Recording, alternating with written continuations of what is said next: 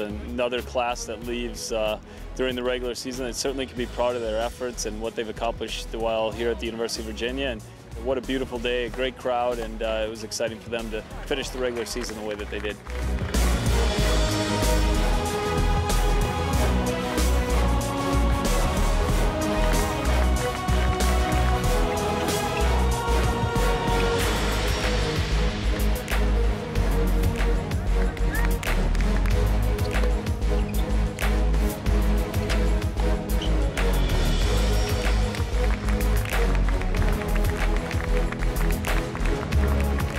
Uh, the great thing about Santiago Villegas is, despite the fact that he's been in and out of our lineup for four years, you know, he's played sporadically, he just continues to work hard to improve. So it's a reward for him to go out there and have the opportunity to play. And no matter what, when it comes to Santiago, he just works. You know, you give him the balls, and he's always going to be ready, and he's and he's going to put a full effort in every single time.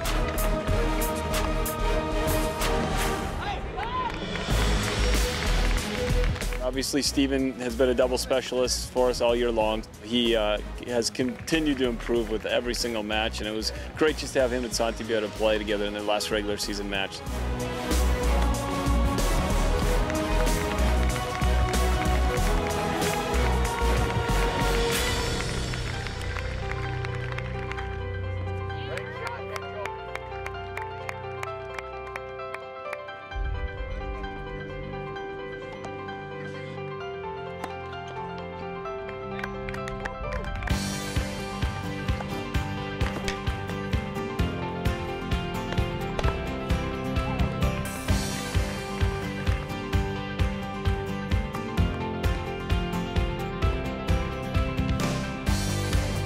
Pretty special day.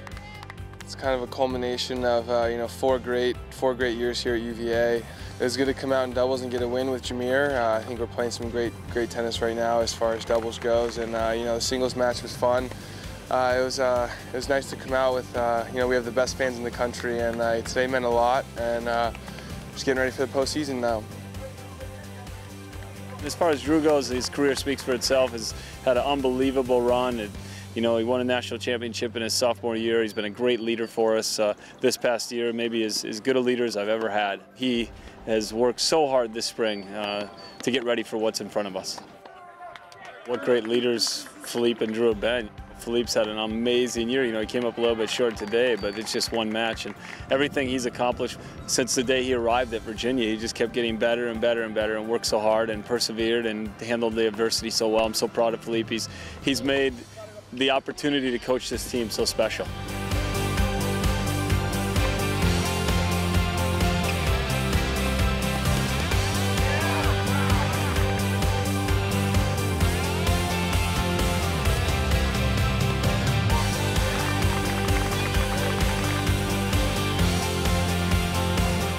Well, I, I, know they're eager to get the postseason started, which is something we work for all year long. So uh, you know, we'll be ready next week as we start the ACC tournament, and, and that will help prepare us for the, the NCAAs.